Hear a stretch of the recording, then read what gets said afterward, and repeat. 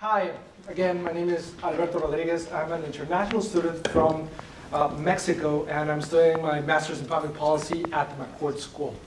And I mean, it has been a trip. I've learned a lot in this past year and a half, and not just for academics, but just learning from my, from my fellow um, students and people here at the Tax But I've come along uh, with one truth above them all. And this is true from, for all of, the, of all citizens in the US. And this is that almost everybody hates going to the DMV.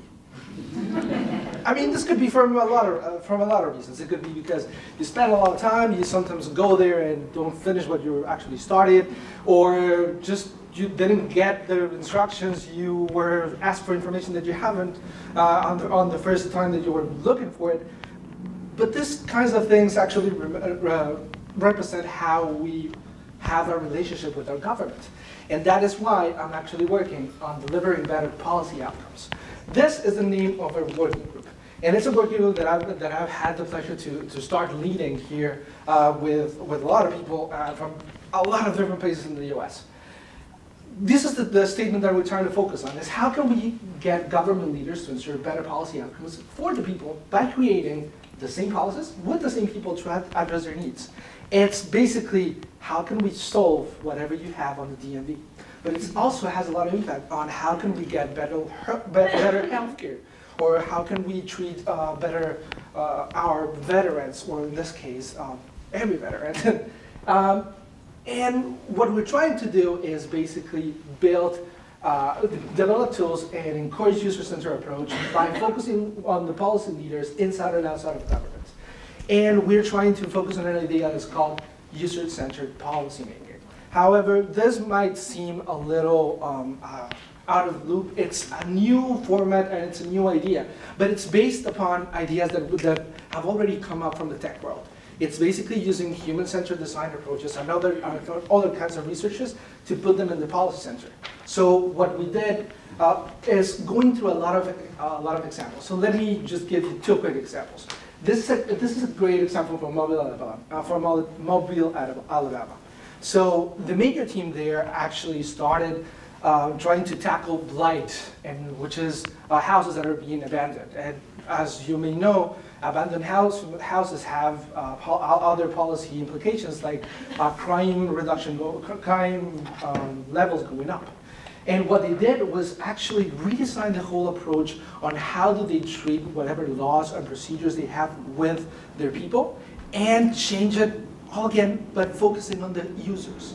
So they came from uh, blight resolutions from 27% to 80% by just focusing on what the people needed. And this came from changing specific codes, but also de developing how to give uh, reports to the people. And, and instead of a, a, little paper, they actually did write uh, big uh, pink stickers in the house so that you can actually see the blight there and try to map the problem.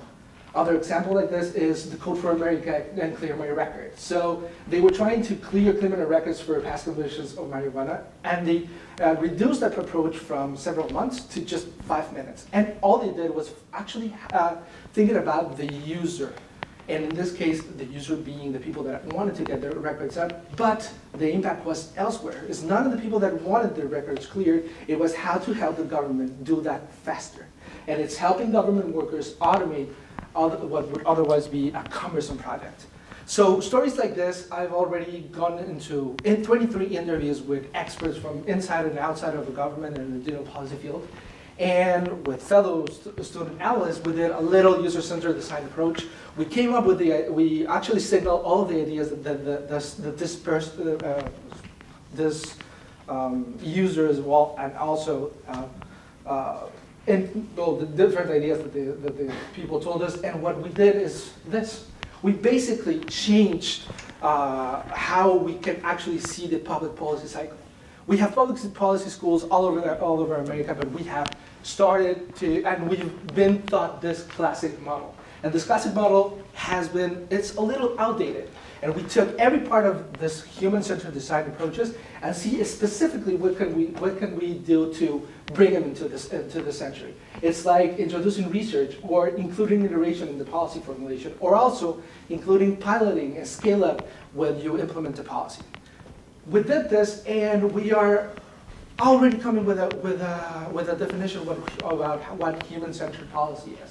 And it's basically intentionally design, implement, leveraging research, piloting and iteration, and getting the user feedback so that we can actually address the needs of everybody in the policy process.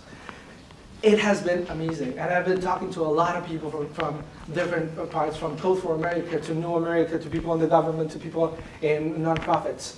But for me, it's also, uh, it has had a lot of impact because now I can use the techniques that I've learned here, such as human-centered design or policy research, and actually apply them to myself, trying to deliver better outcomes. So that's it. Thank you.